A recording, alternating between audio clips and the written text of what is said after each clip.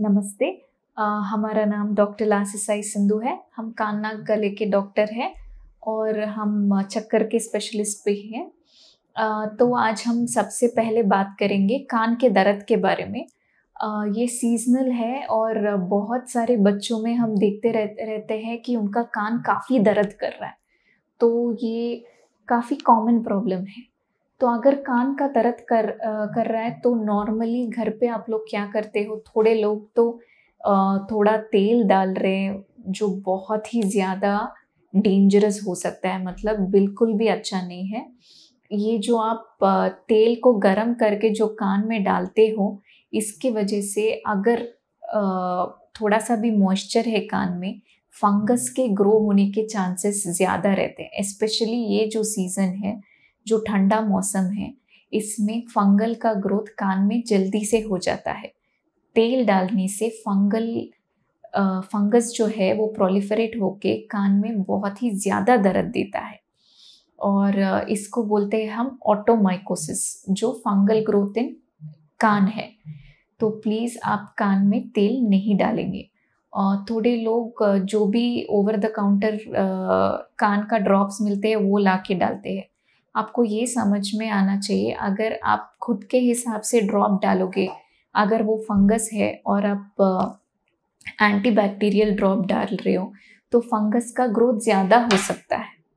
तो आप खुद से डिसीशन मत लीजिए। अगर कान का दर्द कर रहा है तो आप पास में जो भी कान ना गले के डॉक्टर हैं, उनके पास जाइए।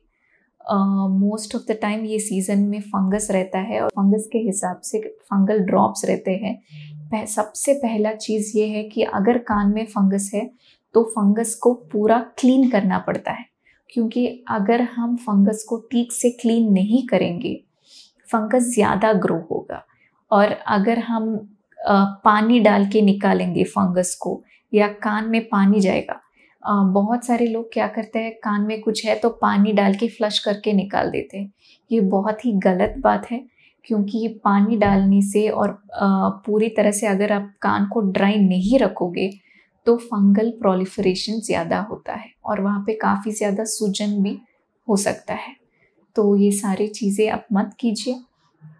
अगर हम बाकी रीजंस के लिए आ जाए, बहुत बच्चों में वैक्स के वजह से भी कान बंद हो जाता है तो अगर बच्चों में बहुत ही ज़्यादा वैक्स है तो आप एक हफ़्ते तक डी वैक्स ड्रॉप्स डाल सकते हैं। वो ड्रॉप्स डालने के बाद अच्छे से काना गले के डॉक्टर के पास जाइए और कान को साफ़ करवाइए। और इसके अलावा थोड़े इन्फेक्शंस भी हो सकता है। फरंकल फरंकल मतलब पस कान का बाहर का हिस्सा जो होता है, इसमें हेयर फॉलिकल रहते हैं। अगर वो हेयर फॉलिकल में इन्फेक्शन हो गया, वहाँ पे फरंकल जैसा फॉर्म होता है उसके वजह से भी कान का बहुत ही ज़्यादा दर्द होना ये सब कॉमन है। इसके अलावा one of the most common causes of ear pain है A O M A O M मतलब एक्यूट ओटाइटिस मीडिया है। और छोटे बच्चों में जो है सर्दी खांसी आना जो है बहुत ही ज़्यादा कॉमन है और हमारा नाक का और कान का एक ट्यूब रहता है। और बहुत ज़्यादा छोटे बच्चों में क्या होता है, ये ट्यूब जो ट्यूब है, छोटा रहता है और ऐसा हॉरिजॉन्टल रहता है, जिसके वजह से आसानी से नाक से कान में पस चला जाता है। पस जो है, पर्दे के पीछे एक्यूमुलेट होता है। ये अगर पर्दा है, पर्दे के पीछे जो है, पस एक्यूमुलेट होता है। ये एक्यूमुलेट होके बहुत ही ज़्यादा दबाव डालता है पर्दे के ऊपर। और थोड़े लोग, बच्चों में तो पर्दा भी फट जाता है और पस निकल के आता है। ये पस जब निकल के आता है तभी बच्चों को पेन से रिलीफ हो जाता है। और ये पस निकलने से पहले बहुत ही ज़्यादा कान का दर्द होता है। तो आप खुद से डायग्नोसिस मत कीजिए। अगर आपके बच्चे को कान का दर्द हो रहा है तो पास में जो भी कान गले अ, कान ना गले के डॉक्टर है उनके पास चले जाइए। Thank you